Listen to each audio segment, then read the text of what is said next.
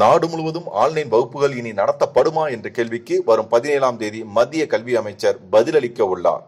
புதிய கல்விக் கொள்கையை அமல்படுத்துவது தொடர்பாக மத்திய கல்வி அமைச்சர் ரமேஷ் பொக்ரியால் அனைத்து மாநில கல்வித்துறை செயலாளர்களுடன் மே மாதம் பதினேழாம் தேதி காணொலியில் ஆலோசனை நடத்துகிறார்.